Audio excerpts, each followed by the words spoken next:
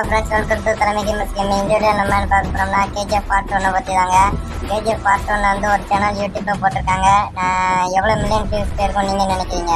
ஒரு அஞ்சு மில்லியன் ஆறு மில்லியன் அதாவது இந்த சேனல் தாங்க போட்டிருக்காங்க. கிட்டத்தட்ட கேஜிஎஃப் ஒன்னுக்கு ஐநூற்றி தொண்ணூற்றி மூணு மில்லியன் வியூஸ் போயிருக்குங்க.